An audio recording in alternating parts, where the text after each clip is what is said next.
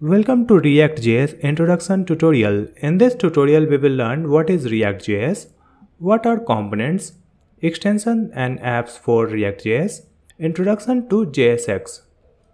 So what is React.js? React is a flexible JavaScript library for building user interfaces. It is maintained by Facebook and a community of individual developers. It is currently one of the most popular JavaScript front-end libraries which has a strong foundation and a large community supporting it. React can be used as a base in the development of single-page applications or mobile applications. Projects which you can build using React.js. You can build tic-tac-toe. You can create music player you can create notes app. You can create quiz app. You can create to-do list weather app. If you have not subscribed GreatStack then subscribe now for updated and quality coding content. After completing this course you will be ready to apply for react job. Major companies which hire react js developers are google amazon Netflix, and Uber. Let's see the JavaScript concepts that is required to learn React.js. First, understanding of let and const, then arrow functions and exports and imports, understanding classes, classes properties and methods, the spread and rest operator, destructuring, reference and primitive types, refreshing array functions, DOM elements. Why you should learn React? As we all know, many JavaScript frameworks like Angular, jQuery, Vue.js and many more were already in the industry to create applications. Then why React? Because it is simple. React.js is simple because it is a component-based language. React developers use JSX which allows them to mix HTML with JavaScript. React is easy to learn. If anyone has prior knowledge in any programming, then he she can easily understand the React. React Native Approach React can be used to create mobile applications using React Native. Data binding React uses data flow from one component to another component using props. React Performance React is definitely one of the fastest JavaScript frameworks because of Virtual DOM. React Testability React.js applications are super easy to test. What are components and why React is all about components? A React component represents a small chunk of user interface in a web page the primary job of a React component is to render its user interface and update it whenever its internal state is changed. React component provides the below functionalities First, rendering of the user interface, management and handling of events, updating the user interface whenever the internal state is changed. React code is written in a declarative way React uses declarative way because we write the code that we want and React is in charge of taking our declared code and performing all the JavaScript DOM steps to get us to our desired result. Installation of VS Code Editor The recommended code editor for creating React project is VS Code Editor. I already have VS Code Editor installed on my system. If you have not, you can download it from its official website. Now let's install some of the popular VS Code extensions, which will make your React journey more easier. Our first extension is ES7 React Redux React Native JS Snippets. Our next extension is Prettier Code Formatter. Our next extension is Auto Rename Tag. I have installed all extensions which is required for our React journey. Now let's see what are their functionalities. Let's see the functionality of ES7 React Native Snippets.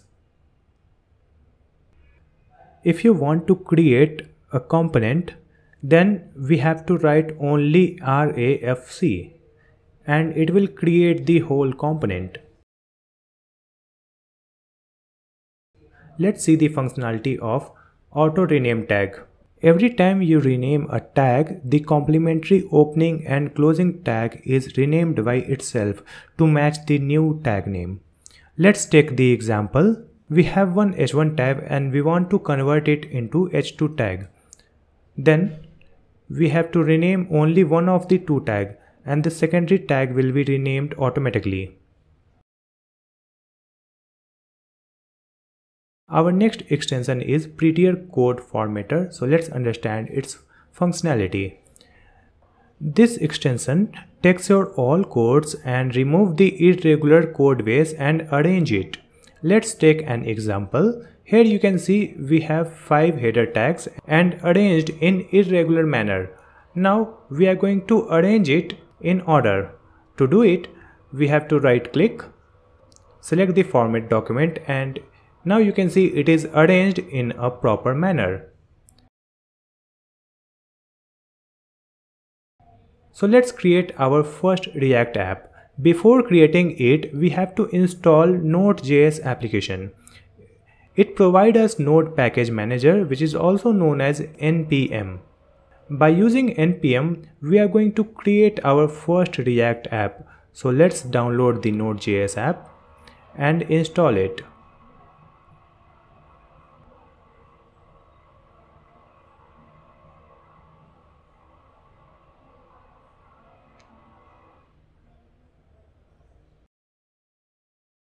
After installing the Node.js application, we are going to create our first React.js app. We have to open the terminal on our desktop directory.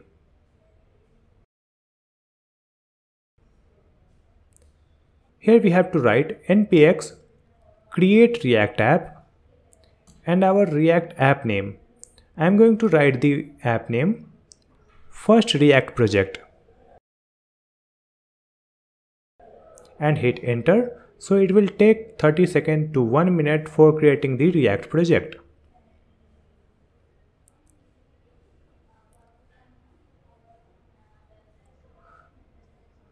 So our project is ready. Now we are going to navigate to the project folder using this command. To run the project, we have to use npm start command.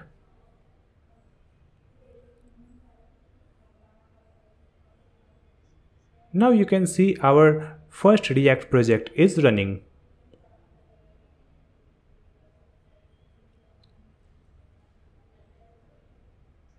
Let's open our project in VS Code and analyze the folder structure of React project.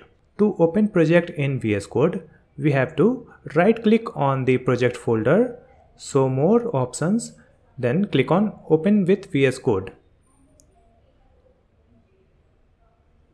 As you can see, these are the files created during installation of our project. Let's check what is git ignore. When sharing your code with others, there are often files or parts of your project you do not want to share. For example, log files, temporary files, hidden files, personal files, etc. Git ignore protect these files to get shared publicly. Package.json Package.json contains descriptive and functional metadata about a project, such as name, version, and dependencies.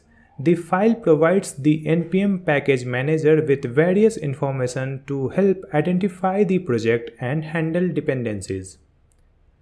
app.js This is the file for app component. App component is the main component in React which act as a container for all other components. Index.js Index.js is the file that runs initially once the Node.js code is executed. It is responsible for our application's startup.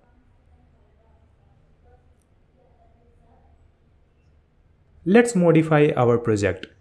As you can see, this is the React default project. Here is the React logo, some description and one link. Now we are going to replace these content, add our own logo, our own text and our own link.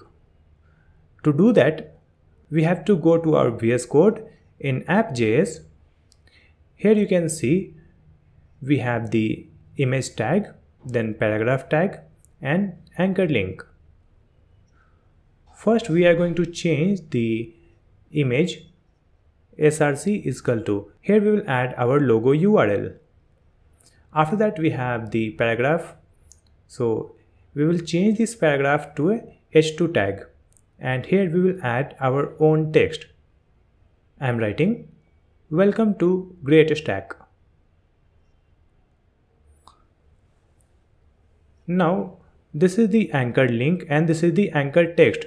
Learn React. We are going to change it and it will be subscribe now. And now we need to save this project and come to Google Chrome.